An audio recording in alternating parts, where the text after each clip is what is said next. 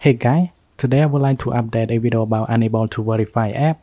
You may encounter this problem when Uncover is revoked on your iPhone on iOS 12.5.3. So now let me show you how to fix it. Uh, this only work on iOS 13 and below, like uh, 13 or 12, 12.5.3, uh, stuff like that. Now to fix it, you need to turn off your Wi-Fi or your cellular data. Uh, do not connect to the internet. Uh, for easy method, just um, enable airplane mode. And then your Wi-Fi will be turned off. Now all you have to do, just go ahead and go into setting. Now scroll all the way down.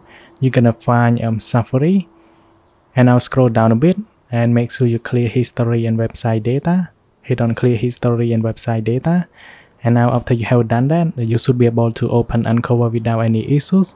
And like you see here and all you have to do just hit on the jailbreak button uh, to begin the jailbreak process. Thanks for watching. I hope this video will help you. You will not need to install uncover again uh, because uh, we have this way that you can fix it and it is very easy. Then we'll catch you guys in the next one